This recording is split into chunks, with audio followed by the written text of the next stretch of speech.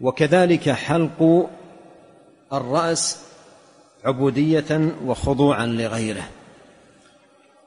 والله سبحانه وتعالى قال محلقين رؤوسكم ومقصرين.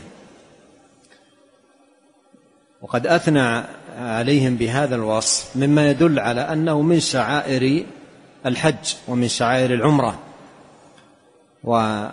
وقد عده أهل العلم من واجبات الحج وواجبات العمرة.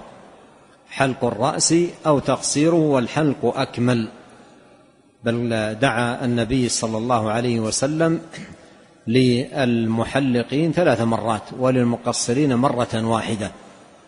فالحلق أكمل من التقصير وكل منهما عبادة لله. عندما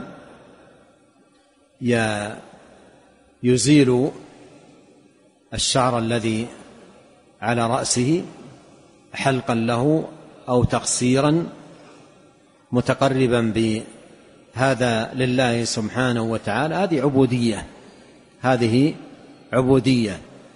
فمن جعل ناصيته